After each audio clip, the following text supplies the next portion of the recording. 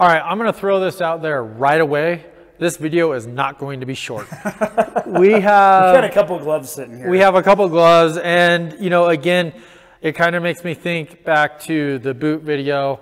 Uh, you, in order to have a, a great day, you have to be warm and comfortable, and a good boot will make you happy, and a great selection of gloves. But this is kind of like the base layers.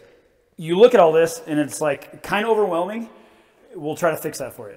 Exactly. And so I have been very vocal in saying that I carry a lot of gloves um, because it really depends what I'm doing on the day. Um, for example, it could be a cold January day, but a dude wrecks an A arm, Kyle, and I can't, I want something that is easy to work on stuff. So that's when I, will grab my pair of inversions, right? So I can work on the sled and still feel the, the nuts and bolts and, and all of that stuff. Um, so what we're gonna do is, uh, Dustin from Klim here, I'm gonna have you help me kind of walk through all of this. I'm gonna tell you guys, I literally have ridden in every single one of these gloves and I have found a formula that I love.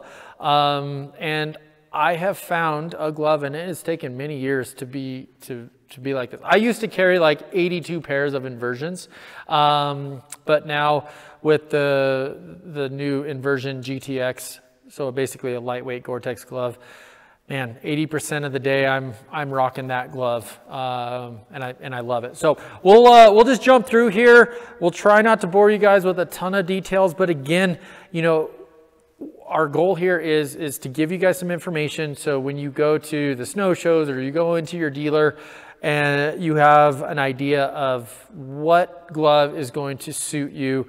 Um, and it's not glove. There's not one glove that is going to take care of all the use demands of snowmobiling from November to May. So uh, keep that in mind as well. So let's start with the inversions. So, so I think, and before we go into this, I think there's a couple things that are important to understand. First off, um, there's kind of some categories here. Um, insulated, non-insulated, long, short, um, Gore-Tex, non-Gore-Tex, yeah. right? So depending on what you're doing will depend on which category you fit into. So we'll kind of try to make it easier to understand from that way. But, but what a lot of people don't understand is there's a lot of technology that's changed in gloves just in the last five years. You would look at a glove and you're like, well, it's a pair of gloves, like you see them together and it's no big deal. But that's far from the truth now. There's so many things we can do with moisture and insulation and bonding so that they don't slip around and you know materials and, and silicones and things that we've come a long way with grip and comfort and warmth. Well, and we all remember when your hand used to get a little clammy and you would pull your hand out of the glove, the liner Stick, would come out. I, I mean, you know, I'm, I'm, glad you said that. Um, and it's been a few years since I've been to the Gore-Tex, Gore-Tex facility, but a lot of emphasis was being made back then. And it's funny, like I look at the gloves we have now, and that was like five years ago, and those are here now, right? You know, yeah. and and to, to talk about that. So we have a couple things that we we really need to emphasize. One is Gore-Tex. And that's something that we've kind of sucked at with talking about everything else. We haven't really talked about why it's important and how it works. And why Klim is the only manufacturer in the snowmobile world that has the, the rights to Gore-Tex. Yeah. And so um, now to implement it in a glove, and Gore-Tex isn't just wa a waterproof company. They have they're they have a huge company. Huge company. Medical devices, sure. shielding, space, like they do all kinds of stuff. And and we have some new features called you know, like Gore Grip. And I'm going to have you explain Gore Grip and and how that works. Well, let's talk about that right now. So Gore Grip, why is Gore Grip important? So you touched on how annoying it is to have that liner pull out with your hand when you're trying to pull the glove out, right? That sacrifices grip because it's sliding around in there mm -hmm. when you're mm-hmm. trying to hold the bars, but then it's also kind of cumbersome to use. So Gore Grip, there's different types of Gore Grip, but essentially what it is, is we're taking the inner liner, the Gore-Tex membrane, the waterproof membrane, and then the outer shell, and we're bonding them together. That may not sound like a big deal, but it's really hard because in order to build a glove that's waterproof, there can't be any seams. Yep. So it's got to be a bag.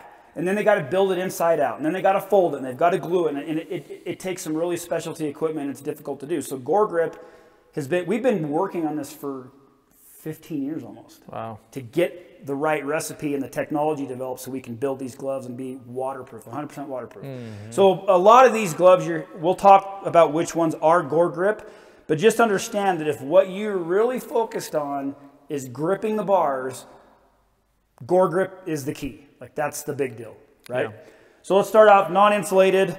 Uh, inversion gloves, they're a Gore-Tex wind stopper material. They block the wind. They're lightweight. A lot of hill climb guys race in these. Yep. Um, warm days, they're nice. They have excellent grip. They've got silicone in the palms. Um, they're lightweight. Uh, they're actually fairly warm. Yep. Um, if you can, you know, if, as long as you keep them dry, they do repel moisture, but they're not seam sealed, so they're not waterproof.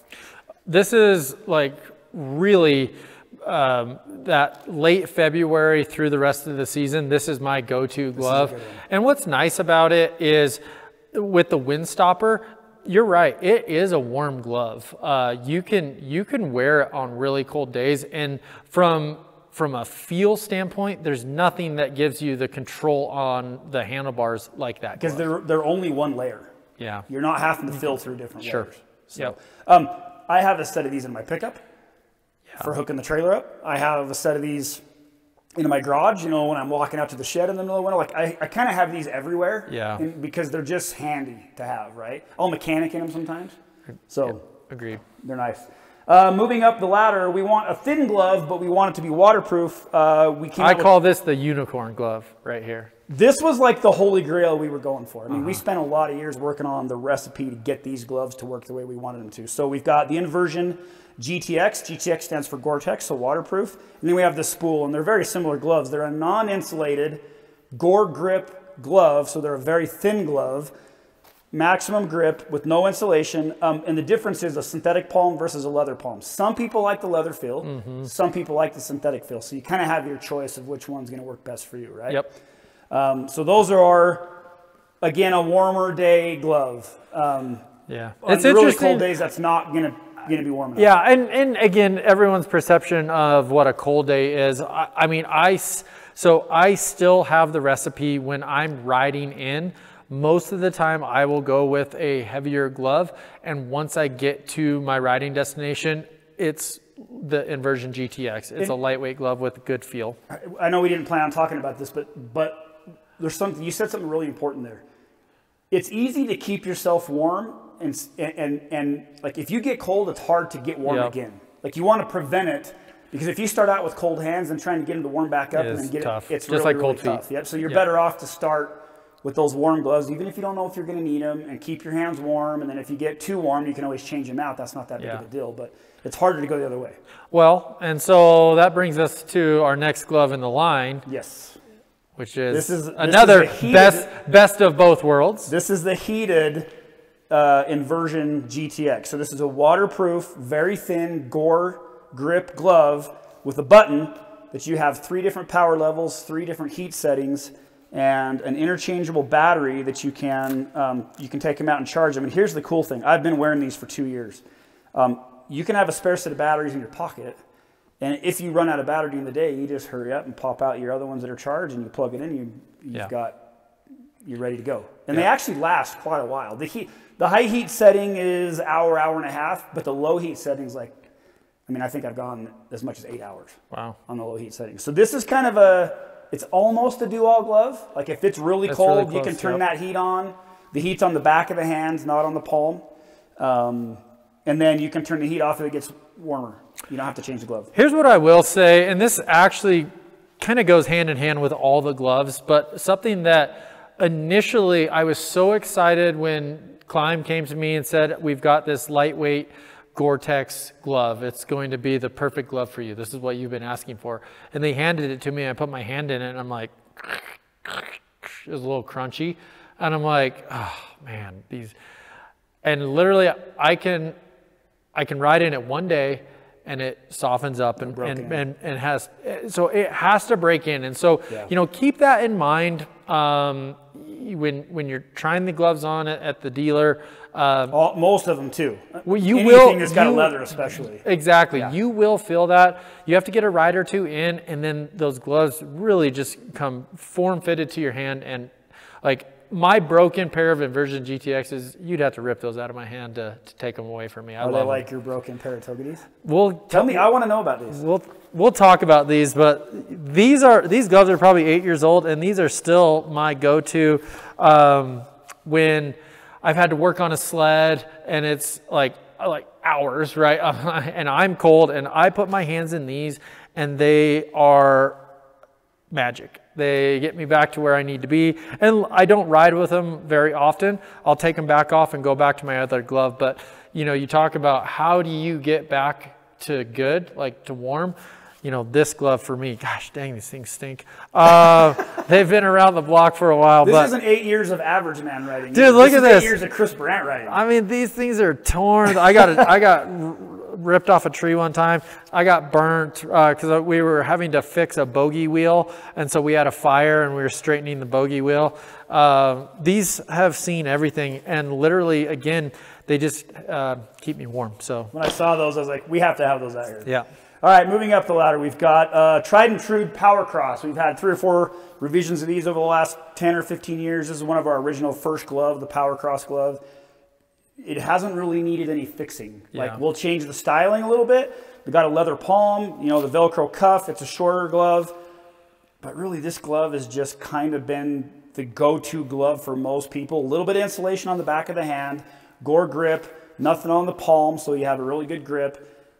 It kind of does everything well. yeah. Um, This is uh, probably one of the most popular gloves for our guides here. Is is that glove? Uh, I'll, you know, you're in. It's Gore-Tex, so it's waterproof. So when you're in the snow a bunch, digging skis and doing all that stuff, that I I know that's Kyle's favorite. Andrew wears it from time to time. Andrew really likes the inversion gloves, um, but you know that glove, and now and that you also have a version with a longer cuff. I like the longer cuff personally. Um, again, the only time I'm going to be wearing that glove for me personally is when it's a cold day, and if it's a cold day, I don't want the short cuff. I want I like the long cuff. So you get I, a little I- better wind protection. I liked uh, seeing that option there. Yeah, so that's just this has just been a lot of people's go-to glove for a long time, and we we, we it's it's been our highest, so one of our highest selling gloves. In the spring, it'll get a little warm because the insulation on the back Yeah. of the hand. Um, and I'm you know I'm using the spool or the inversion GTX. Okay. Uh, and then we have a heated version of the same glove, just like we talked about with the Inversion GTX heated. We've got the Power Cross heated, same uh, heating elements, same principle, so we won't spend a lot of time with that. Next up is a new glove called the Guide Glove, and this is um, this was a request from guys like you and Dan Adams, guys who spend a ton of time on the snow. They want something super soft, super supple, a little bit of insulation, but a really uh, a high-end premium fill. Um, it's got the durability of the stuff we've had here, but just kind of that next level. And so this is all really nice leather, back of palm and front. Yep. Um, Well, and what this glove is going to do, it will take a little bit of time, but one of the reasons, again, we go back to my go-to, this leather, when it's broke in, is so limber and easy to move. And that's something, with a high-grade leather, that's what you will get. And so I'm excited to uh, put these through the paces And they'll well. break in a little bit. I noticed on the ones I was, the prototypes I was wearing last year, you know, they'll start and they kind of feel like that. A little bulky. I think we call it a rodeo leather, um, but then they just get soft and they're just they're super comfortable. One thing I haven't touched on with some of these other gloves is you'll notice we've got this squeegee Yeah. right here on the finger for your goggles, and if you've ever ridden in ice like sleet, ice, these are a must. I use the squeegee a ton. Uh, it's I, I know it's on my left index finger, and I know I can just go like that because you don't want to smear. You want to scrape the snow and water uh, and ice off of your And even scraping, like, that sounds rough, right? But I mean, in some instances, that's literally what you're doing, but you're just squeegeeing that moisture off Yeah. of the lens. Yeah. And there's, you'll notice that most of these gloves have them. Any, any of the Gore-Tex gloves have the squeegee on the finger. Um, that's, we try to put that across the line. Yep. Next, this is kind of another one of those go-tos um, when we talk about like you know what's what's in my bag. Literally, we've covered most of them. I have a set. Of, I have two pairs of inversions. My inversion GTX. I then I actually do have one of those as well. And then this is my go home glove. Uh, is the Togwotee. Yeah, and this is the newer version of what you got here. And the cool feature that, that this is another one of our uh, staple pieces that we've had in the line for a long time. And what makes it different is it has the removable liner. Yeah, and I, I personally remove the liner um, because I like the open concept inside the glove with the liner out. It, I feel it provides plenty of warmth and it's not restrictive. I, I don't like the feeling of a tight glove. I like a, a more loose fit glove. One, one area I see a lot of uh, people use this glove is they don't have a lot of storage capacity, so they may not be packing six different pairs of gloves, but they'll pack different liners. So in the morning when it's cold, they'll have, we have a 2.0 and a 3.0 and a 1.0. They'll have a heavier liner in this. They'll wear it in. They'll get warm. They'll take the liner out, do ride how like you do, because it's a thinner glove, more like one of these. Go through the day. If they get cold, they put the liner back in. So it's kind of a, it is a one glove that can be used for multiple things and not have to pack a bunch of extra gloves. Yep. Yeah, the Togwotee's awesome. Uh, we skipped over the Klimate. The Klimate is a glove. It's it's funny. Uh, Ross kind of brought this glove to my attention. He he loves uh, loved this glove when he was working for us. Um, it's a very lightweight glove. Um, it's Gore-Tex, obviously, and uh, tell us a little bit about It's that. It's got the synthetic palm. It's we don't put leather on this glove because we want to keep the price affordable for any, about anybody, and we want it to be kind of an all-around glove. Again, I say that a lot, but um, the biggest difference between this and say like a Power Cross is no leather, and then it's got insulation under the palm and on top of the Mm-hmm. palm. So it it's going to cover. Uh, if you're standing around on the snow a little bit and you don't have your hand warmers or for the people that use those, this is going to give the bottom of your palm a little bit more insulation. Where most of these gloves don't have any insulation on, the, palm. So this is a good one to have in the pack for standing around a little bit. It's not super bulky, yeah, but it's going to keep you warm if you guys are eating lunch or whatever or fixing a sled. definitely a lightweight uh, glove. Yeah. So I was telling you before, Keith Curtis actually races on a cold day. He races in this glove, Yeah. insulated glove. It's his, it's his go-to. Yeah. we're, we're, we're letting you guys know some of Keith's secrets uh, with the Klimate Glove here. be so mad at us. All right, what do we what do we got here? So this is a new glove, uh, the Blaze glove. This is um, kind of inspired by the guide glove. It's a full leather glove on the front of the palm. Um, it's eventually a it's essentially a Klimate, an insulated Klimate with a gauntlet and leather. So it's a fancier version of the Klimate essentially. So it's got the insulation on the palm and also on the back of the hand, but a little bit of a softer feel with the leather. Cool.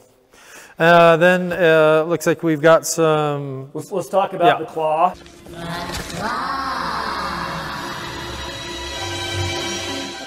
We've got the claw glove. Um, this is the crap we're spending the night glove.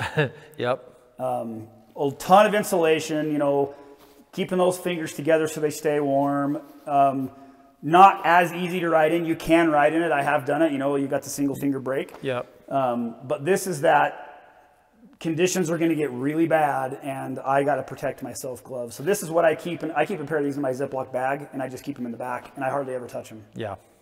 But the one time you need them, you're going to be glad you have them. You'll be glad you had them. So now we go to the women's glove, and, and this is fairly simple because they're essentially the same as one of the gloves we have here in a men's, just with a, a fitted and an aesthetic to the women. Um, so we've got the Versa glove. Let's see. Okay, we've got the Versa glove. This is the inversion Yep. uh, uh, windstopper glove. We've got the Ember glove, which is very similar to the Klimate with the synthetic palm insulation on the back and the front. And then we have the Bombshell glove, which is the short cuff like the Power Cross insulation on the back of the hand, and then just the Gore Grip, uh, no insulation on the palm, but it's got the leather palm. So that, that's, that's a lot. And we actually didn't even cover them all. Like there's other gloves that we didn't talk about in this line, but these are kind of the staple pieces that we find most people use. Yep. Um, the one thing I will talk about is ma- taking care of your gloves is going to make a big difference on how long they last and how long they stay waterproof. So talk about that. So every glove will have care instructions and pay really close attention to those care instructions. They're not exactly all the same, but if you wash them or you don't wash them or exactly how you take care of them, because if you get them really dirty, that clogs the Gore-Tex pores, and that's part of how they work. So making gloves last, half of that is obviously taking care of the gloves. Cool. That's good to know. Well, uh, lot lot of information to digest here, uh, and again, lots of options to ensure that you get the right piece of equipment for the use demands that you have. And I think uh, you know taking all of this information, what I take out of it is you don't have to have 20 pairs of gloves, but what Klim is doing, especially with the advancements uh, with like Gore-Tex and Gore-Grip and heated and all that stuff, you're being able to carry a lot less. There's the, the gloves are becoming more versatile and that's awesome for us as consumers and riders.